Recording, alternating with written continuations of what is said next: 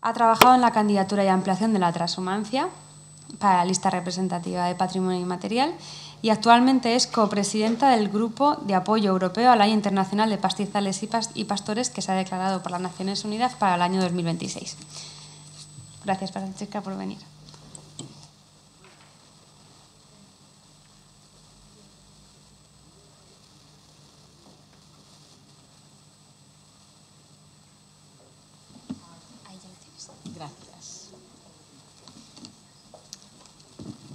Hola. Hola, buenas tardes. Es una hora mala, ya lo sé. Espero que, que, que no os haga dormir. Bueno, eh, os voy a hablar de la transhumancia como patrimonio cultural y ligado a las fiestas. Imagino que todos sabéis eh, lo, lo, que es la transhumancia, por lo cual no, no me voy a dilungar en esto, pero ya sabéis que en España hay una red nacional de 125.000 kilómetros de, de, de, largo que está protegida desde hace muchos siglos, desde 1273, por una ley. Pero eso sigue solo. Sigue siguiendo solo. A ver cómo hago para que no siga. Eh, a ver. Sigue hablando, que ya sé lo que pasa. Vale. Entonces, la, eh, hay cañadas reales, ¿no? estas protegidas, y, que están con, la ley de la nueva ley del, del 95 que ha sido renovada, ¿no? Ya, está. Vale. Bueno, entonces os voy a hablar de las fiestas eh, eh, de la transhumancia y turismo cultural, fiestas y cohesión social y fiestas como soporte. Vamos a hablar de las fiestas y turismo eh, las fiestas de transhumancia en su integración en el, en el, entorno urbano. Creo que todos sabéis que ya desde el 1994 el Consejo de la Mesta organiza de manera ininterrumpida, o sea, en los últimos 30 años, la fiesta de la transhumancia por el centro de Madrid. eh, aquí tenéis a nuestro querido Jesús Garzón en una foto del 2018 con la alcaldesa, el pastor y expertos en quesos eh, presentando la fiesta de la transhumancia. Cuando pasa por Madrid, imagino que todos eh, lo habéis o vivido en directo o visto en televisión, eh, que hay más o menos ahora últimamente casi un millón de personas que, que, que vienen a ver esta fiesta. ¿no? Esta es una fiesta que es un encuentro entre pastores, alcalde, población, músicos, poetas, artesanos. Podéis apreciar los vestidos de, regionales de las varias regiones que participan. Y el club de, la, de esta fiesta es cuando llega al, al, al, al municipio y ahí hay, hay, el encuentro entre el alcalde de Madrid y el pastor y el pastor tiene que darle 50 maravedís por millar de, de ovejas según una, una concordia del 1418. Aquí en el 2022 hemos organizado una reunión de los, diez países, de los puntos focales de los 10 países participantes en la, candidatura y aquí podéis apreciar la pastora luxemburguesa a la derecha, a la izquierda son unos pastores argentinos y los demás pastores están más atrás. En 2007, en Madrid, se hizo un encuentro de, del el primer encuentro mundial de pastores nómadas y transhumantes, coincidiendo con la COP8, ¿no? que era la de la desertificación. Y ahí se hizo una, una famosa declaración, que es la Declaración de Segovia de Pastores Transhumantes y Nómadas. En España hay la transhumancia que pasa por, por eh, zonas urbanas en varios sitios. La hay, esta, por ejemplo, hay esta cañada real que pasa por el campus de la Universidad de Alicante.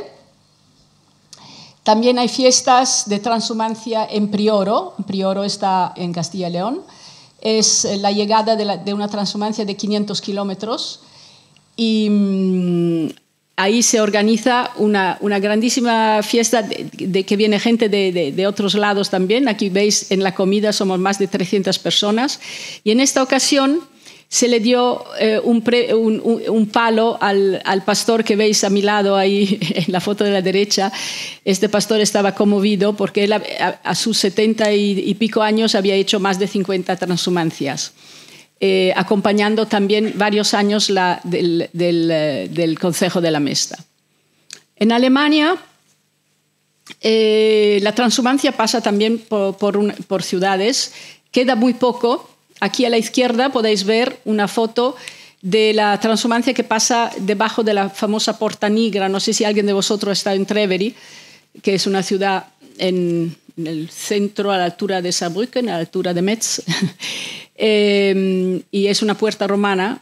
Y en, en Alemania el código de tráfico alemán eh, permite pasar con ganado sobre las carreteras, aunque no haya ninguna ley que protege, si eh, tienen eh, unas luces, unos perros y unas estas, es bastante fácil. en Italia también existe una ciudad en la cual pasa la transhumancia y es la ciudad de Bérgamo, eh, y se llaman los Bergamini y Bergamini. Y esta fiesta de transhumancia también tiene más de 600 años, con muchísima gente que participa. Y ahora voy a hacer simplemente una pincelada de ideas que hay un poco por España y por otros países de Europa. Aquí tenemos Luxemburgo. Luxemburgo no es famoso por su transhumancia, porque es un país muy pequeñito, pero es importante que haya participado en la candidatura porque el, único pastor transhumante que hay en Luxemburgo pasea debajo de las instituciones europeas y eso no está mal para dar a conocer el tema. Pero aquí veis el, el Hammelmarsch, que en Luxemburgo pasaba ya en el 1909 y en el 1911. En Portugal, nuestros vecinos, eh, hay hay restos de transhumancia, porque ya sabéis por todo lo que pasó en los años 50 con Salazar, se eh, em, desaparecieron la mayor parte de los pastores. Y aquí en Alpedriñas eh, hay esta transhumancia, he participado justamente ahora en septiembre. Y aquí veis a las autoridades con música y todo. Pasa por una calzada romana y llega al pueblo, la foto que veis abajo a la izquierda. Y arriba a la derecha veis la decoración que, tienen, que tiene un chivo que es típica de, la Sierra de Estrela. También hicimos en marzo de 2022, eh, en Francia no pasaba la transhumancia por París, pero en ocasión de la, de la Feria eh, de Agricultura, que es en finales de febrero o primeros de marzo, hemos hecho pasar un, rebaño que, como podéis ver, eh, por los campos elíseos. Y a la izquierda está la representante de FAO y los de Mongolia. Ya sabéis que Mongolia es el país que eh, ha pedido que se declare un año eh, internacional de pastizales y pastores que ha sido declarado para el 2022.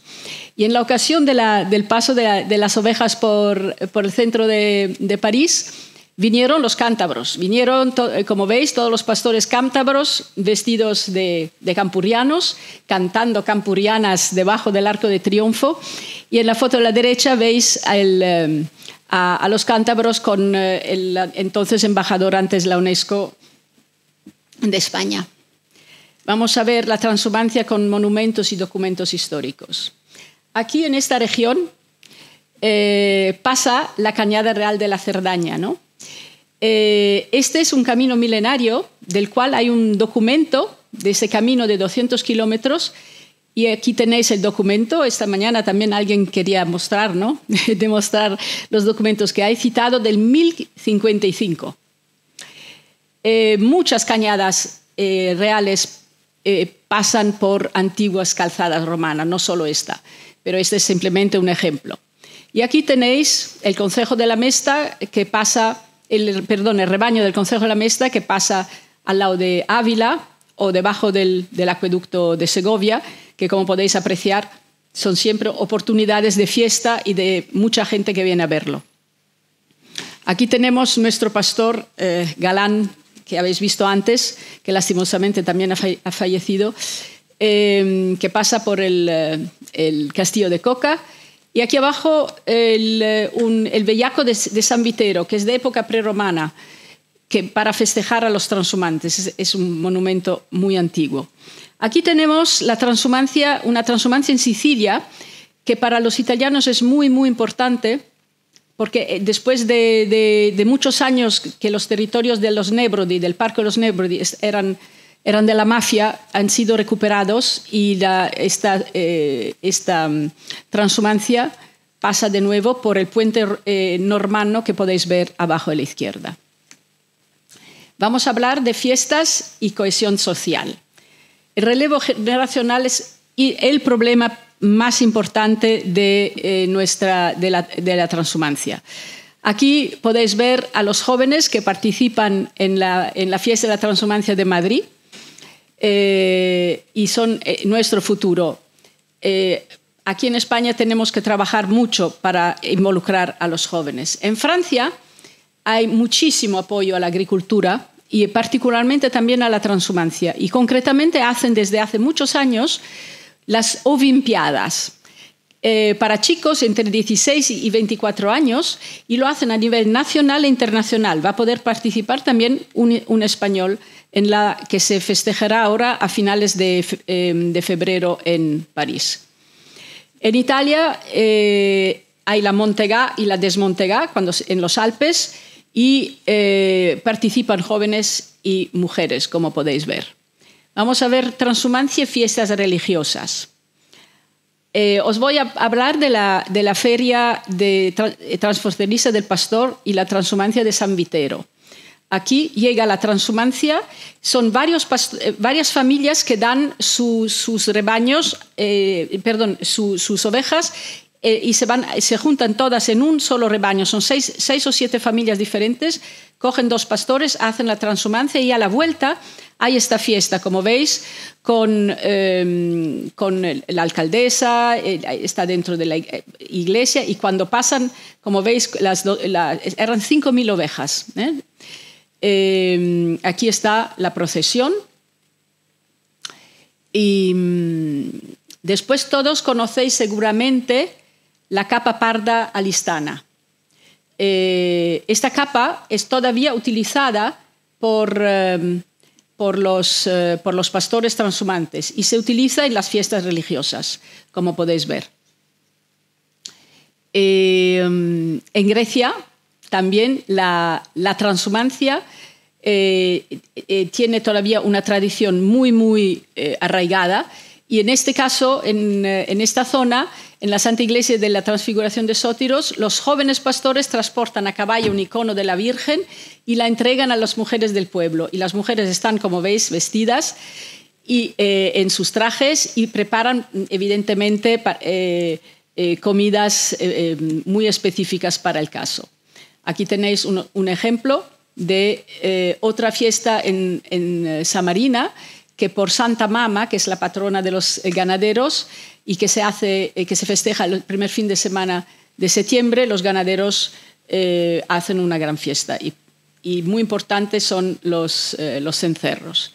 En el sur de Italia, en San Marco en Lamis, para los que habéis visto la película que hemos hecho para la, para la, candidatura está Carmelina, ahí en, eh, esta es la fiesta de la, familia de Carmelina, que es la última familia transhumante de largo recorrido del sur de Italia.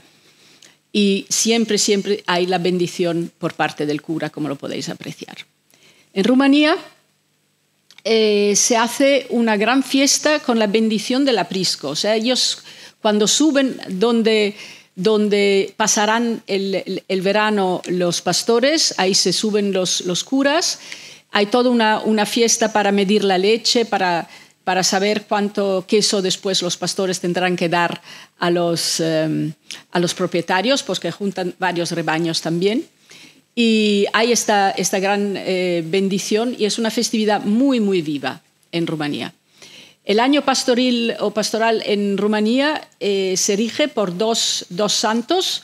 Uno es la fiesta de San Jorge, el 23 de abril, que es cuando empiezan las, eh, transhumancias eh, que suben, y la de San Dimitrios, el 26 de octubre, que es cuando bajan, y es el patrón del invierno pastoral. Vamos a ver transhumancia y fiestas transfronterizas. Aquí tenéis una fiesta que no sé, eh, tal vez algunos de vosotros ya han estado, eh, es entre Francia, España y Andorra, como podéis ver en el mapa de la izquierda, hay muchísimas eh, facerías, ¿no? estas, estos pasos de transhumancia. No quedan muchas y la única la única que todavía vigente es este tributo de las tres vacas con el Tratado de Paz más antiguo de Europa. Es del 1375, más antiguo todavía vigente. ¿Eh? En el cual los pastores franceses, cuando iban a España, tenían que pagar un tributo de tres vacas. Los españoles controlaban que las tres vacas fueran de buena calidad y ya ponían una mano francesa, una española, una encima de la otra, y el, el alcalde dice, y sea paz, ¿no? para que no haya problemas. Hay otra transhumancia transfronteriza muy conocida, que es la entre Austria e Italia. Es una, eh, transhumancia que tiene más de 6.000 años de antigüedad y que, por supuesto, termina con una fiesta, como podéis apreciar, en, en trajes y con cerveza, niños y todas las edades participando. Eh, voy ahora a hablar de las fiestas como soporte de las prácticas. Entonces, aquí a la derecha podéis ver eh, eh, unas fotos de, una foto de eh, unos vestimientos que se usan todavía hoy en Cerdeña. de, los, de, unos pastores, pero vais a, a, poder apreciar que esto es un vestido que se usa en muchos países de Mediterráneo. Entonces, en España en cada feria de la transhumancia están las mujeres y los hombres vestidos con sus trajes regionales. Concretamente aquí veis la fiesta de Santiago Pontones. Eh, está la fiesta eh, de la capa alistana, de la cual ya he hablado antes. Aquí tenemos unas mujeres de León en la fiesta de transhumancia de Madrid y con unos pendientes. Esta chica tenía unos pendientes de su, bisabuela todavía que me parecieron maravillosos y por eso saqué la foto. Y abajo a la izquierda tenéis el traje regional de las mujeres de Prioro.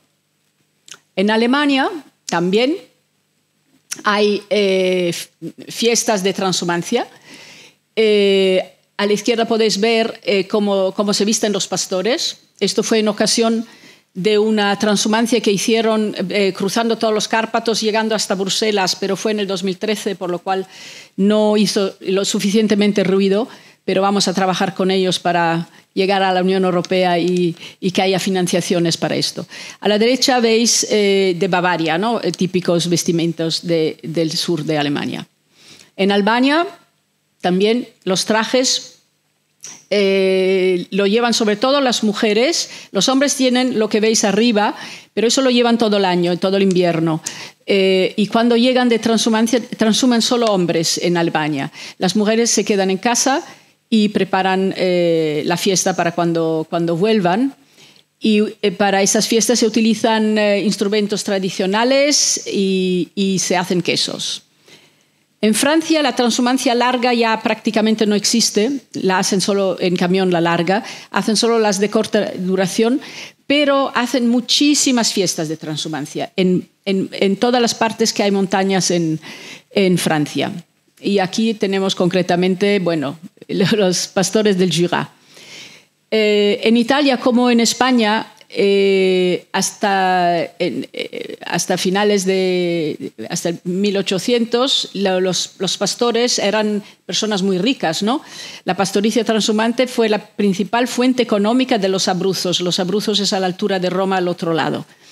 Y, ahí se hacía la presentosa. La presentosa es un, una medalla más o menos de este tamaño de oro, por lo cual hubo un florecimiento de la joyería que la futura eh, eh, suegra regalaba a la futura nuera como símbolo de fertilidad, de, de, ¿cómo se dice? de fidelidad y, muchos otros símbolos.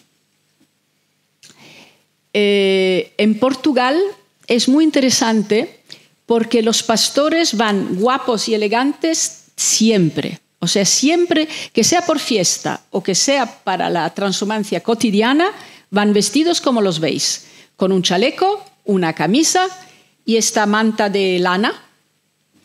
Eh, y los podéis ver un día de fiesta o un, cualquier día. Y siempre están vestidos igual.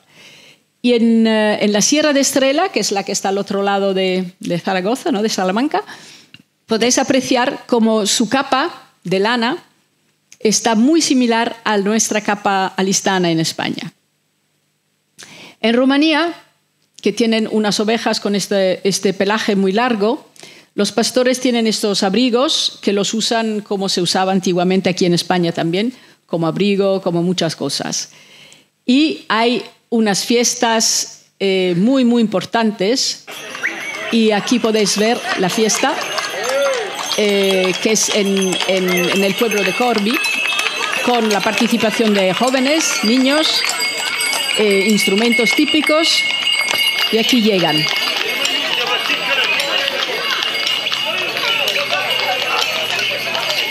Bueno, no lo vamos a ver todo, era para tener una idea. Y vamos a ver la transhumancia y la artesanía.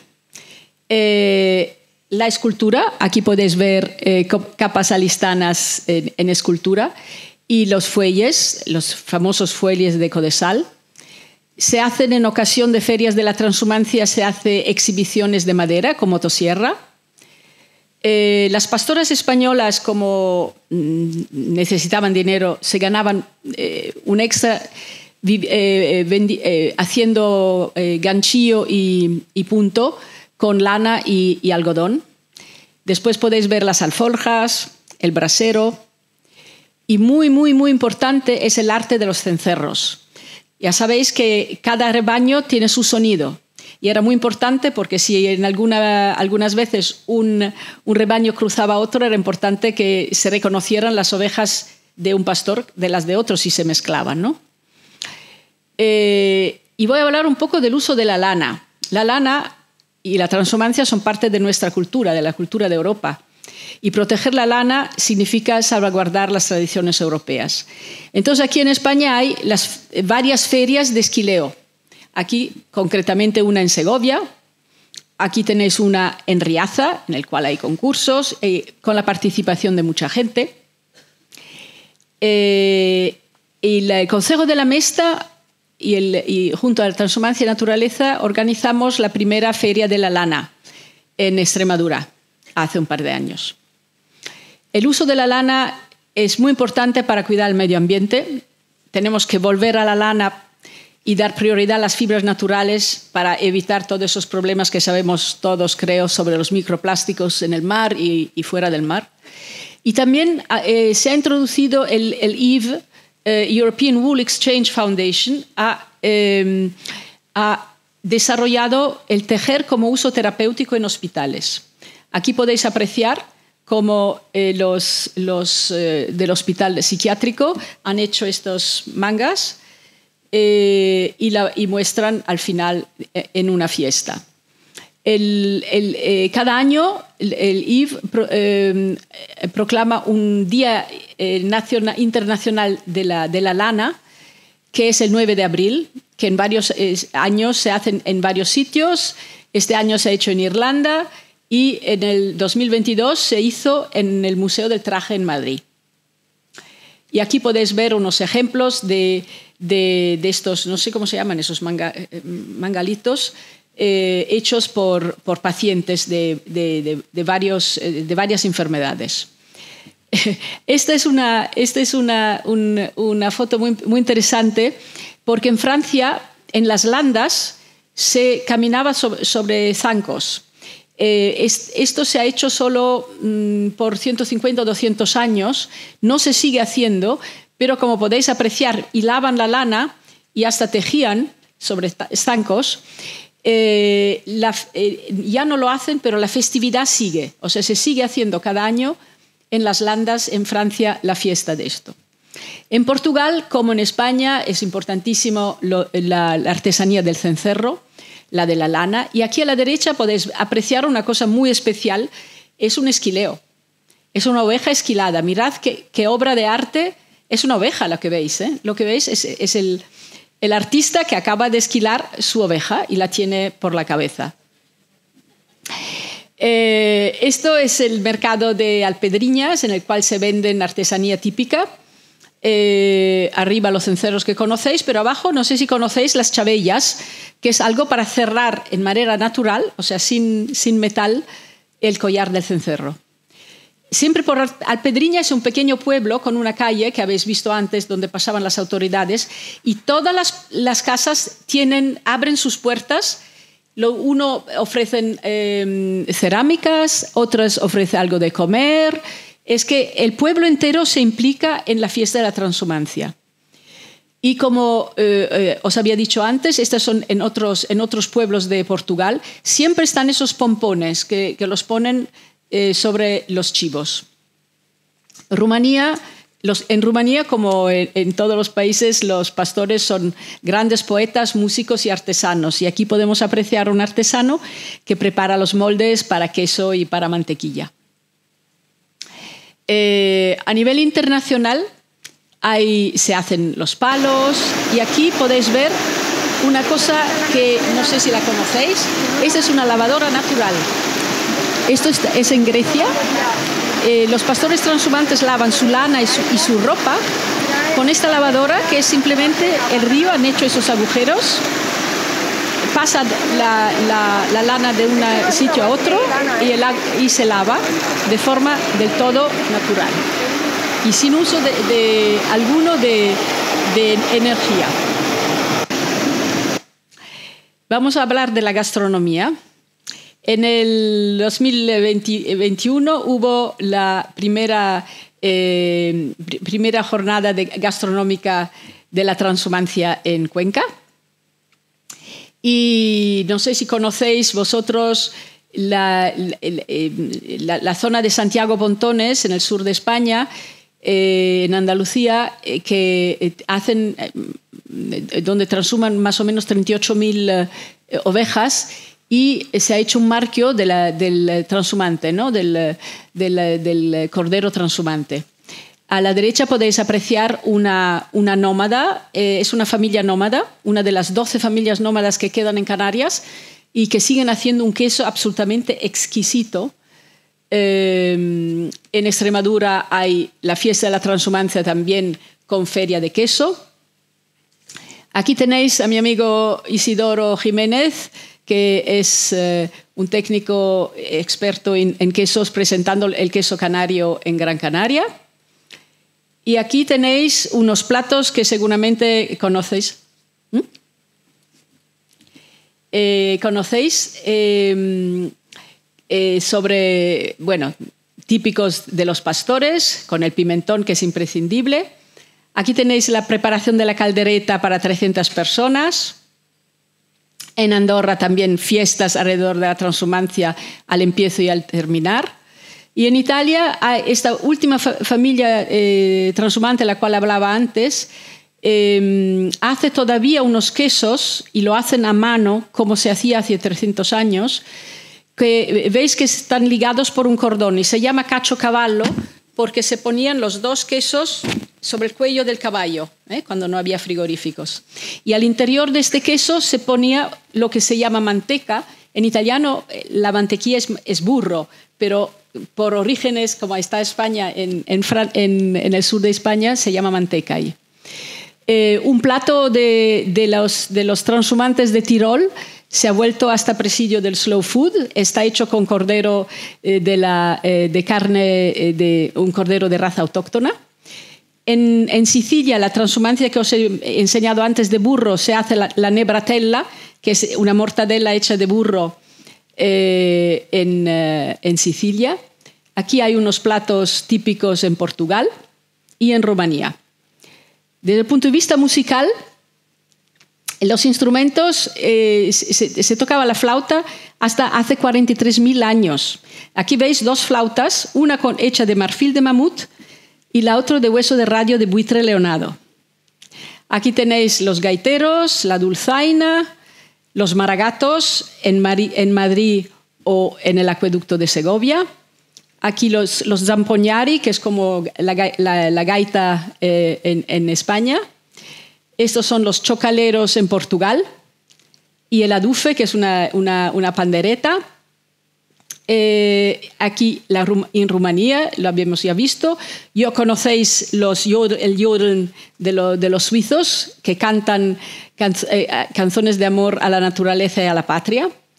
El cine. En España no, no, no, hay festival de cine, pero la Universidad de Alicante hizo una, fiesta hablando de cine. Ahora en Madrid, los que estaréis en Madrid el 6 de febrero, estáis invitados a ver un documental Mujeres, Viento, Tierra y Ganado. En Francia sí que hay un festival de cine que en el 2019 ya hablaba de transhumancia. Y ahora termino con un homenaje a Jesús Garzón, que, ha sido eh, un grandísimo naturalista y, humanista.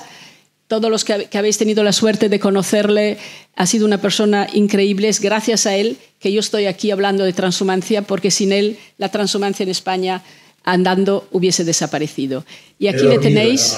sobre un lecho de lentiscos embriagado por el vaho de los húmedos apriscos y arrullado por el rumor de mansísimo rumiar. He comido pan sabroso con entrañas de carnero que guisaron los pastores en blanquísimo caldero suspendido de las yares sobre el fuego del hogar, y al arrullo soñoliento de monótonos herbores he charlado largamente con los rústicos pastores y he buscado en sus sentires algo bello que decir. Una música que dice cómo suenan en los chozos las sentencias de los viejos y las risas de los mozos y el ladrar de los mastines en la, en la densa oscuridad. Los que habitan sus majadas ya no riman, ya no rezan. Mm, como perros amarrados maldicen la fortuna de los amos y señores que habitan las majadas, eh, los palacios de la mágica ciudad. Que revivan, que rebullan por mis chozos y casetas las estirpes patriarcales de selváticos poetas que la vida buena vieron y rimaron el vivir, los pastores de mi abuelo, el patriarca que con ellos tuvo un día la fortuna de morir.